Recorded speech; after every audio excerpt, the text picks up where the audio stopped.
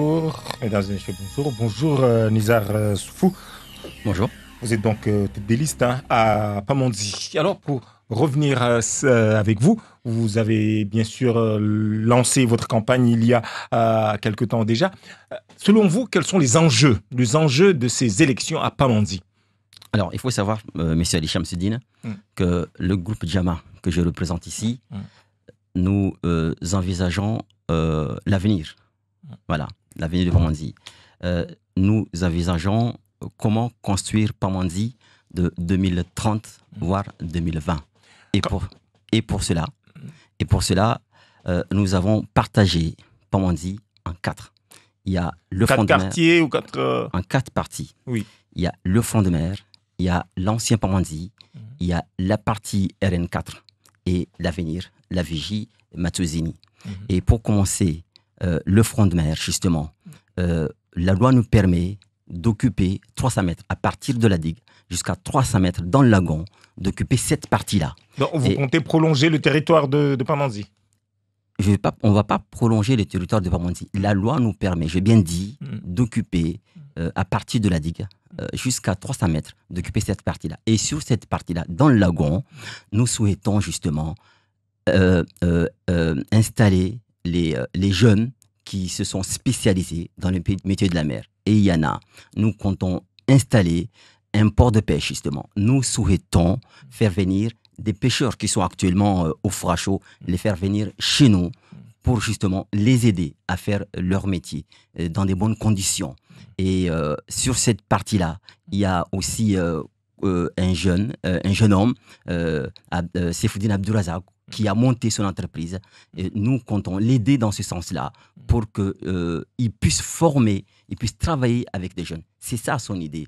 Et euh, euh, la deuxième partie, euh, c'est le, le, Pamandzi, euh, l'ancien Pamandzi, euh, qui est en bas, qui est euh, justement dans le couloir des avions.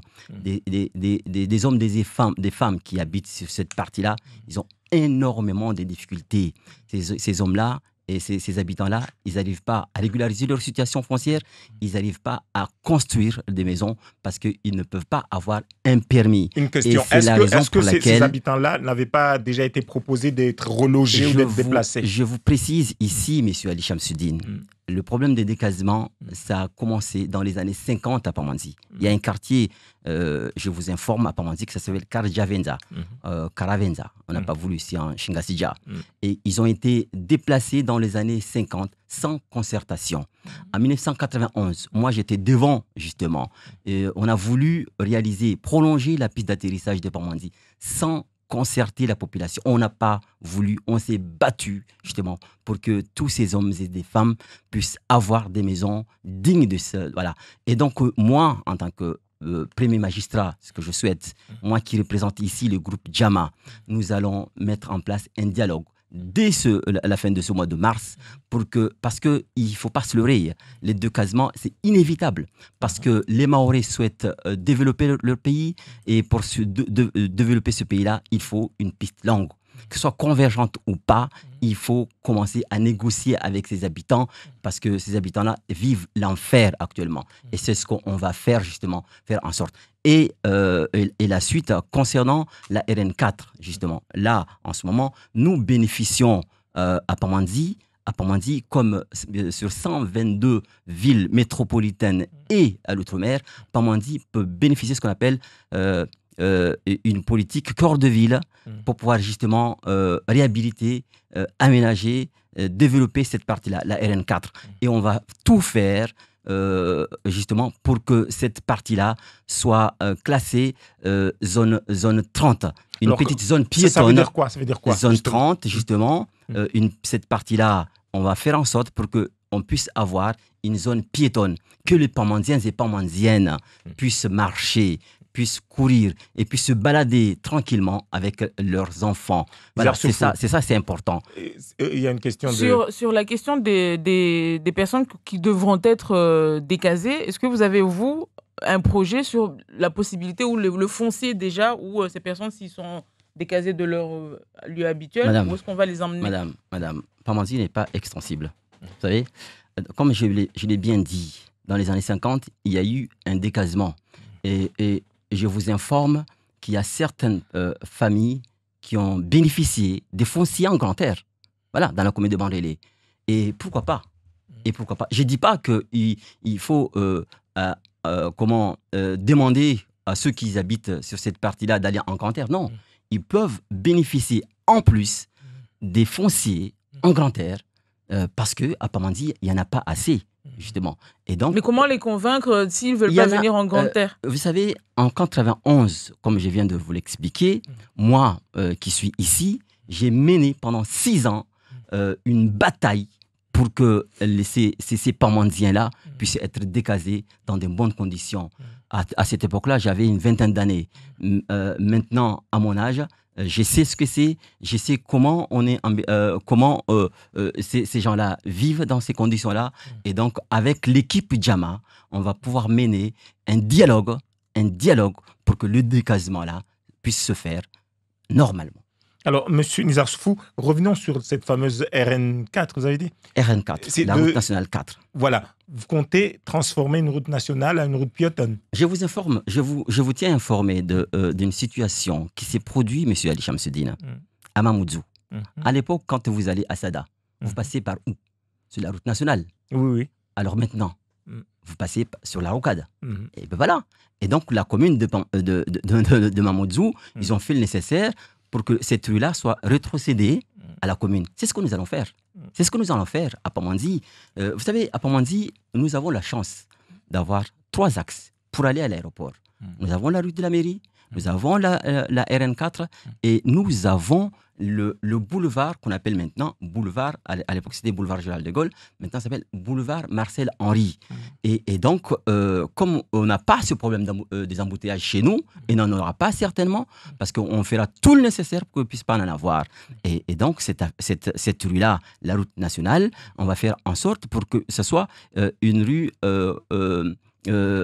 active. Et, et encore, nous allons tout faire pour essayer.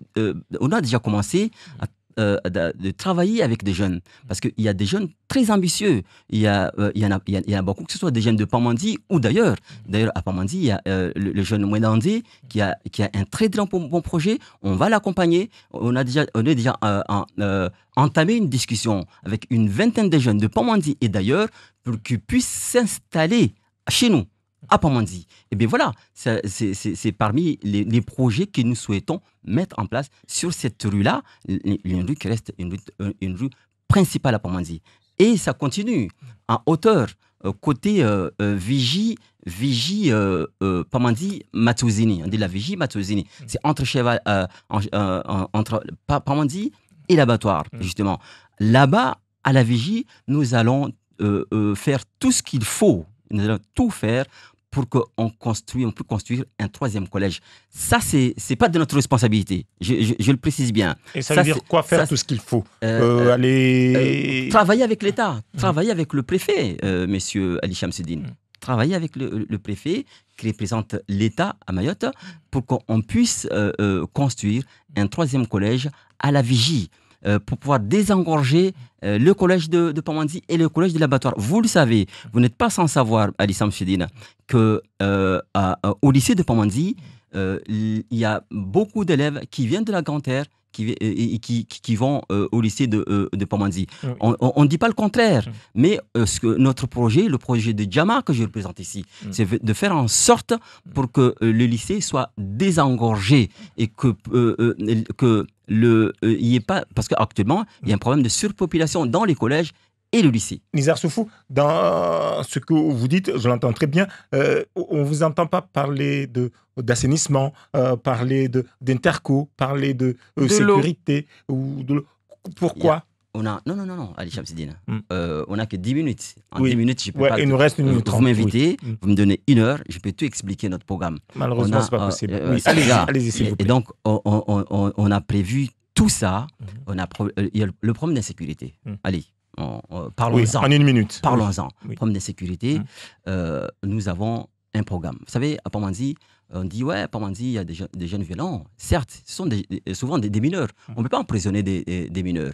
Mais euh, nous avons prévu accompagner ces jeunes-là nous avons justement, euh, euh, juste pour, pour votre information, l'État a mis à, à- à- à disposition, à, dispo- à- à la disposition des élus maorais un fonctionnaire, un fonctionnaire euh, qui, qui est, qui est euh, à la police, euh, à, la préfecture, pardon, et qui est prêt à accompagner les élus. Et donc, si euh, on, compte, euh, on est élu euh, le 15 ou le 22, on, on- on- on contactera euh, cette personne chargée de la sécurité pour faire le nécessaire pour que euh, ces jeunes-là puissent être accompagnés. Merci beaucoup.